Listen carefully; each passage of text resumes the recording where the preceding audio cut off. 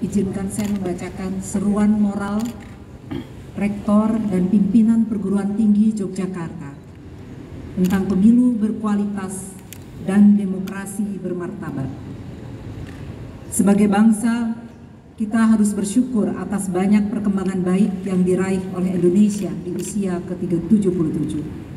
Meski tidak menutup mata bahwa masih banyak pekerjaan rumah yang menunggu diselesaikan. Semuanya merupakan hasil kerja kolektif dan kumulatif para pendiri bangsa, pemimpin, dan rakyatnya. Rasa syukur itu diekspresikan untuk mewujudkan cita-cita sebagai bangsa yang berdaulat dengan berbagai cara, termasuk peningkatan komitmen pada pembangunan, perbaikan tata kelola pemerintahan, pemastian keadilan sosial, penegakan hukum, dan pengawalan demokrasi yang bermartabat. Demokrasi yang bermartabat salah satunya ditandai dengan pelaksanaan pemilihan umum yang berkualitas. Pemilu sebagai mandat reformasi menjadi pintu masuk pergantian dan keberlanjutan kepemimpinan dengan legitimasi moral dan sosial yang tinggi untuk kemaslahatan bangsa.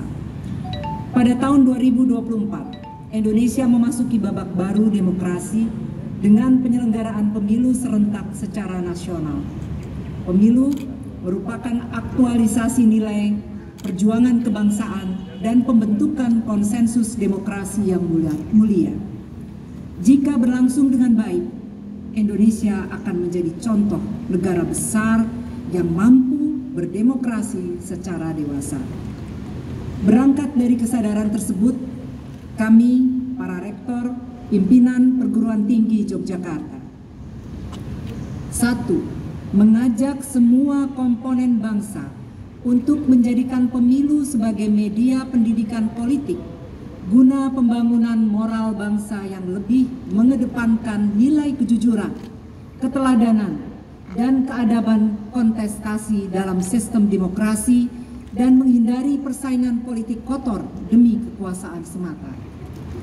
Dua, menyeru seluruh komponen bangsa untuk menjamin pemilu berjalan secara partisipatif bagi seluruh bangsa Indonesia dan tidak dimonopoli oleh segelintir elit kelompok oligarki yang mengabaikan kepentingan publik.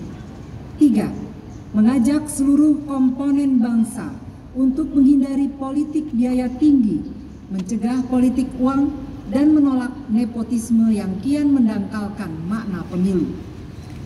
Empat, mengajak seluruh komponen bangsa untuk menghindari jebakan penyalahgunaan identitas dengan politisasi agama, etnis, dan ras yang berpotensi menimbulkan konflik dan kekerasan tidak berkesudahan yang merusak persatuan dan kesatuan bangsa.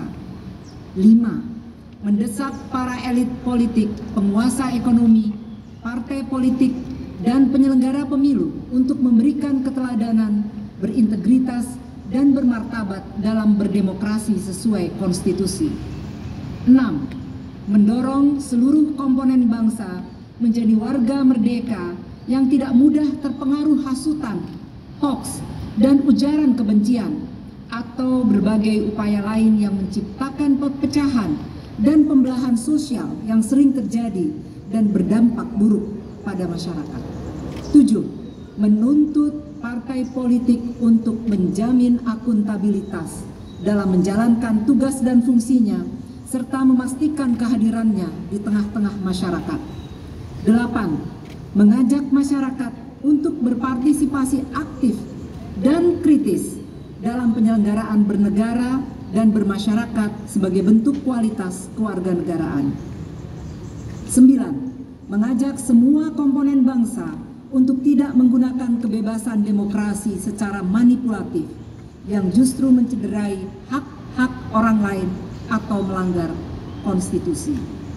Dan sepuluh, mengajak seluruh sivitas akademika, masyarakat sipil, dan media massa berperan aktif untuk melakukan edukasi publik guna meningkatkan literasi demokrasi dan kebangsaan serta mengawasi jalannya kekuasaan.